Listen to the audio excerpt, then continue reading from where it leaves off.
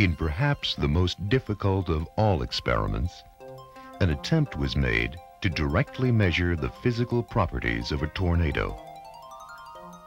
This required firing an instrumented rocket directly into a funnel.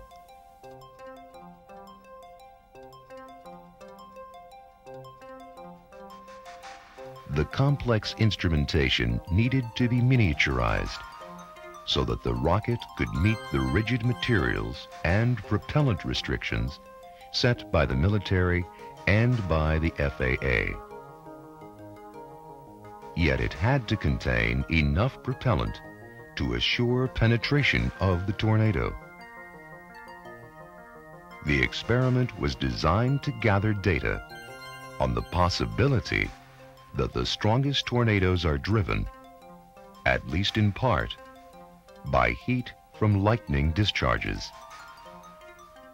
Some renowned physicists believe strongly that there is a significant lightning-driven component to the energy source for tornadoes.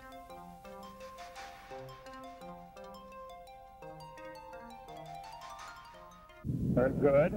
And we supposedly have everything booted. we are going to try and get uh, a rocket in it. We're going slowly towards it, but we can see that it's somewhat unstable. And we're going to get as close as we can safely.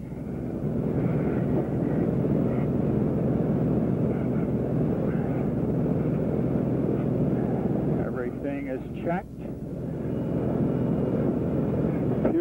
Is booted again.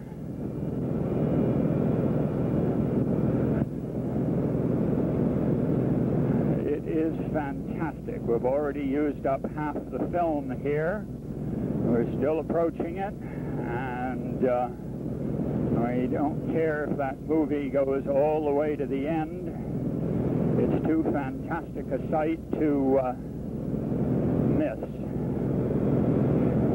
Got some rain there, which is screwing up the photography. There's no sign of any turbulence. We still have a little bit of the film left to go. And we are within firing range, although it's getting thinner and fire.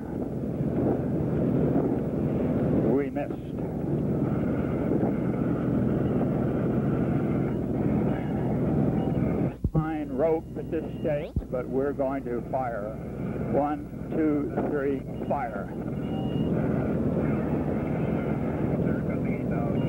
And uh, we're going to try and get in just a little closer this time. See whether we can. All right. Three, two, one.